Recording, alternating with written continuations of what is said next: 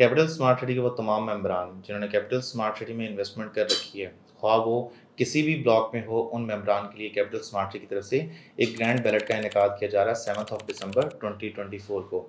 इन balloting में शामिल होने के लिए तमाम मेम्बरान के लिए क्या रिक्वायरमेंट होंगी, इस वीडियो में वो एक्सप्लेन करूँगा।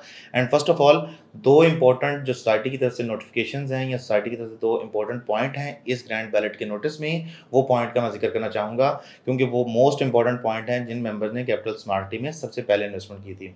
सबसे पहले कि वो तमाम मेम्बरान जिनके प्लॉट ओवरसीज़ ईस्ट में ओवरसीज़ सेंट्रल में हैं ओवरसीज़ प्राइम वन में हैं, या किसी भी ब्लॉक में हैं जो पहले बैलेट हो चुके हैं। यानी कि आपको प्लॉट एलोकेट हो चुका है, और आपको अपने प्लॉट की लोकेशन जो है वो पसंद नहीं है, और आप उसे सरेंडर करना चाहते हैं और अपनी मर्ज़ी की लोकेशन सेलेक्ट करना चाहते हैं ओवरसीज़ वेस्ट में या ओवरसीज़ प्राइम टू में तो उन मेम्बरान के लिए गोल्डन अपॉर्चुनिटी है कि वो अपने लिटिगेटेड एरिया में, या जैसे एग्ज़ाम्पल के तौर पर ओवरसीज़ ईस्ट में सेक्टर एफ़ है सेक्टर जी है, उसके अलावा ओवरसीज़ प्राइम वन की बात करें सेक्टर जे है सेक्टर के है सेक्टर एल है सेक्टर एम है, उसके अलावा सेंट्रल की बात करें सेक्टर डी है सेक्टर एफ़ है, और डिफरेंट डिफरेंट एरियाज़ ऐसे हैं जहाँ पे प्लॉट अभी तक लिटिगेशन में है। अगर आप अपनी लोकेशन सरेंडर करके नए ब्लॉक में शिफ्ट करना चाहें अपनी लोकेशन तो आपके पास ये गोल्डन अपॉर्चुनिटी है कि आपकी अगर अमाउंट हंड्रेड परसेंट क्लियर है, यानी ऑलड्यूज क्लियर प्लॉट है तो आप अपनी लोकेशन शिफ्ट कर सकते हैं। सेकेंड पॉइंट आता है कि वो तमाम मेम्बरान जिन्होंने कैपिटल स्मार्टी में अपने प्लॉट तो खरीद रखे हैं बट उन्होंने अभी तक बैलेटिंग का पार्ट नहीं बने, और जो आने वाली बैलेटिंग है सेवन्थ ऑफ़ दिसंबर ट्वेंटी को, उस बैलेटिंग का पार्ट भी नहीं बनते तो उन मेम्बरान के प्लॉट फॉर कैंसिल कर दिए जाएँगे, और वो दोबारा रिट्रीव नहीं किए जाएँगे। ख्वाह वो किसी भी ब्लॉक में फॉल करते हों। यानी कि अगर आपके प्लॉट की कोई भी अमाउंट पेड है और आपने बैलेटिंग में शामिल नहीं होते एक्नॉलेजमेंट सीट नहीं हासिल करते तो आपके प्लॉट कैंसिलेशन में चले जाएँगे और आपको रिमेनिंग अमाउंट जो है आपके प्लॉट की 25 परसेंट डिडक्शन के बाद, एक साल के बाद वापस की जाएगी।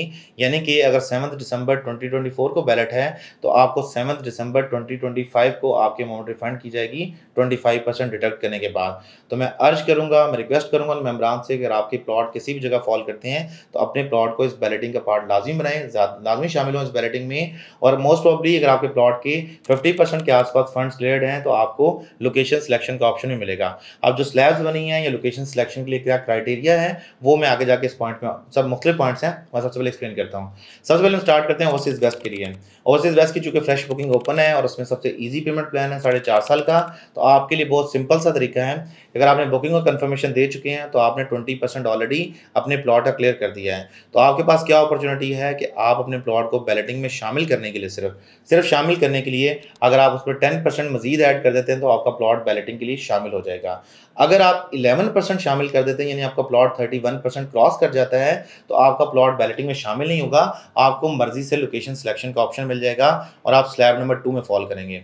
स्लैब नंबर वन में ओवरसीज वेस्ट के वो मेम्बरान फॉल करते हैं, जिन मेम्बरान ने अपने प्लॉट को मतलब जो कुछ आमतौर पर मेम्बरान होते हैं, जिन्होंने हंड्रेड परसेंट पेमेंट प्लॉट लेते हैं, जो कि ओवरसीज वेस्ट में मेरा नहीं ख्याल को मेम्बरान होंगे तो वेस्ट का जो स्लैब वन है वो मोस्टली एम रहेगा, उसमें कुछ ज़्यादा लोग नहीं होंगे। सेकंड स्लैब में वो लोग फॉल करते हैं कि जिन मेम्बरान के पास थर्टी से लेके अब टू फोर्टी परसेंट पेड है, वो सेकंड स्लैब में फॉल करते हैं।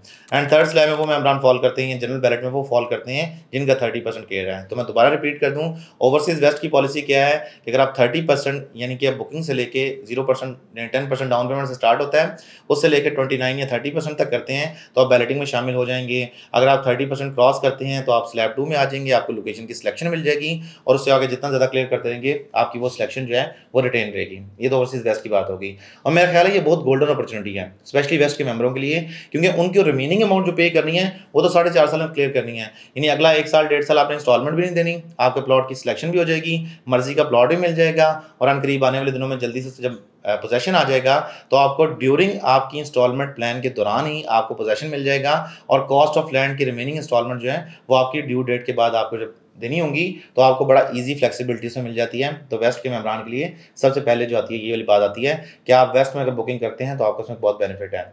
सेकंड पॉइंट आता है जी एग्जेक्टिव ब्लॉक वन का। एग्जेक्टिव ब्लॉक वन के वो तमाम मेम्बरान जिनका प्लॉट फॉल करते हैं सेक्टर डी से लेकर सेक्टर एच के दरमियान में, यानी कि बी और सी को इसमें एक्सक्लूड किया गया है बट बी और सी वाले मेम्बरान भी इसमें शामिल हैं। अगर आपके प्लॉट हंड्रेड परसेंट क्लियर हैं तो आप अपने प्लॉट को दूसरी जगह मूव कर सकते हैं बट मैं ये सजेस्ट नहीं करूँगा, क्योंकि बी ब्लॉक तो ऑलरेडी हंड्रेड परसेंट है। आपकी लोकेशन बहुत अच्छी है, आपको अपने प्लॉट को कभी भी सरेंडर नहीं करना चाहिए, किसी भी सूरत में। सेकंड आता सी ब्लॉक के लिए सी ब्लॉक की जो लैंड है वो एक्वायर्ड है बट वो पोजेशनेबल नहीं है डेवलप नहीं है। वो चाहें तो उस बारे में सोच सकते हैं बट आई वोट से क्या आप इस प्लॉट को शिफ्ट करें? आपका जहाँ पे प्लॉट है, उसी सेक्टर में रखें तो लॉन्ग टर्म में जाके सबसे ज़्यादा बेनिफिट जो है वो बी ब्लॉक और सी ब्लॉक भी पास होगा एग्जेक्टिव में तो आपको लॉन्ग टर्म जाके बहुत ज़्यादा बेनिफिट इसमें मिलेगा। थर्ड आता है इसमें जी, अब वो मेम्बरान जो सेक्टर डी से लेके सेक्टर एच या एग्जैक्टिव के कोई भी मेम्बरान जो बी और सी के अलावा हैं उनके लिए ये बात है कि वो अपने प्लॉट की, अगर उनके प्लॉट के सारे पैसे क्लियर हैं हंड्रेड परसेंट क्लियर हैं तो वो स्लैब वन में फॉल करते हैं। अब स्लैब वन के लोग वो हैं जिनको सबसे पहले सिलेक्शन ऑफ़र की जाएगी।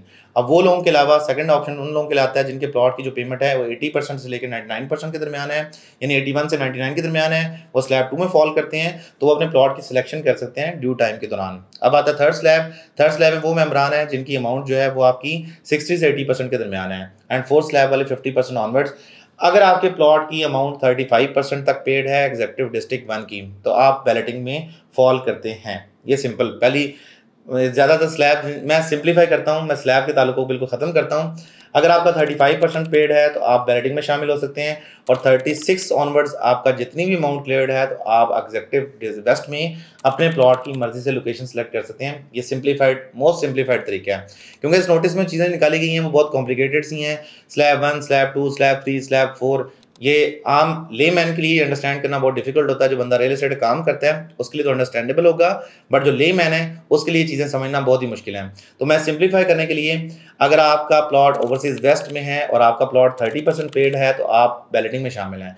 थर्टी से ऊपर कुछ भी पेड है तो आपको प्लॉट की सिलेक्शन मिलेगी। सिंपल एज दैट अगर हम बात करें सेकंड एग्जेक्टिव ब्लॉक की तो एग्जेक्टिव ब्लॉक का वही प्लॉट अगर आपका थर्टी फाइव परसेंट पेड है तो आपको प्लॉट की जो है वो बैलेटिंग में शामिल होगा।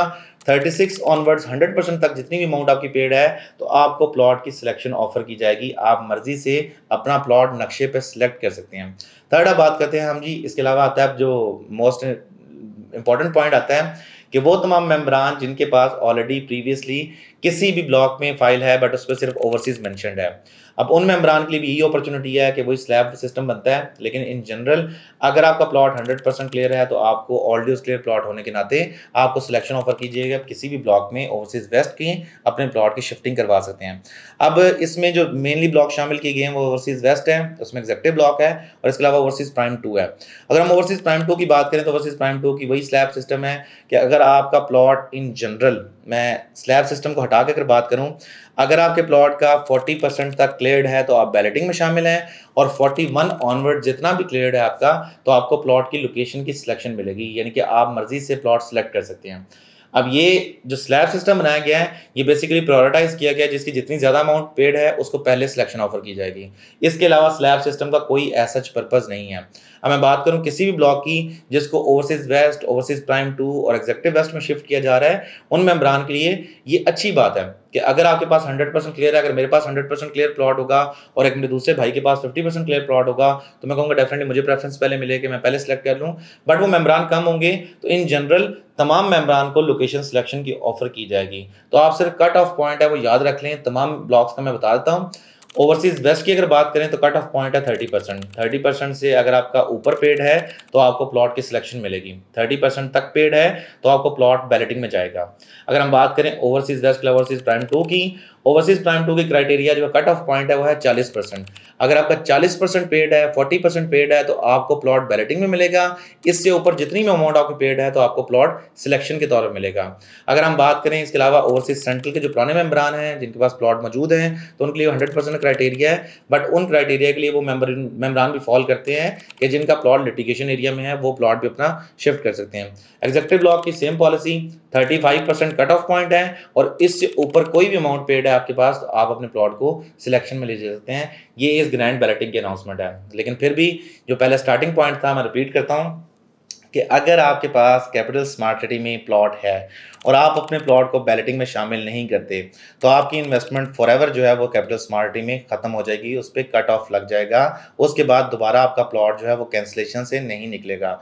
अगर आपके पास प्लॉट है किसी भी ब्लॉक में, overseas east, overseas central, overseas prime one, overseas west, overseas prime two, executive west, किसी भी जगह प्लॉट है तो अपने प्लॉट को बैलेटिंग का पार्ट लाजमी बनाएँ। आपके लिए बहुत ही इंपॉर्टेंट बात है, क्योंकि आपने इन्वेस्टमेंट जब कैपिटल स्मार्ट सिटी में कर रखी है तो कैपिटल स्मार्ट सिटी की इन्वेंट्री इंतहाई लिमिटेड इन्वेंट्री है कि इन्होंने बाकी सोसाइटीज़ की तरह लाखों में हिसाब में फाइलें नहीं बेची हैं। अब ये प्लॉट आप देखेगा कि तकरीबन जितने भी प्लॉट बनते हैं, कौन सी सोसाइटी होती है कि जो अपने पुराने मेम्बरान हो 2019 के 2018 के, उन्हें भी ऑफ़र करें कि आपको प्लॉट पसंद नहीं है, नई जगह पर आके ले लो। तो ये एक बात का सबूत है कि कैपिटल स्मार्ट सिटी की जो इन्वेंट्री है, वो कैपिटल स्मार्ट सिटी के पास हमेशा ज़्यादा होती है। यानी कि प्लॉट ज़्यादा हैं और कैपिटल स्मार्ट सिटी के मेम्बरान कम है तो ये बहुत ही खुशाइंद है उन मेम्बरान के लिए जिन्होंने कैपिटल स्मार्ट सिटी में इन्वेस्टमेंट कर रखी है। तो ये ओवरऑल लुबे लुबाब था इस नोटिस का, जो कैपिटल स्मार्ट सिटी की तरफ़ से आज मेम्बरान को लिए दिया गया है। तो आप इसके हवाले से कुछ जानना चाहते हो तो दिए गए नंबर रब्ता करें। इसके साथ साथ हमारी वेबसाइट विज़िट करना मत भूलें W W W dot Makaan solution dot com अगर आपको वीडियो अच्छी लगे तो please do like comment and share और चैनल को सब्सक्राइब करना मत भूलें। रिजवान चीमा को दीजिए इजाज़त। अगली वीडियो के लिए खुदा हाफिज़।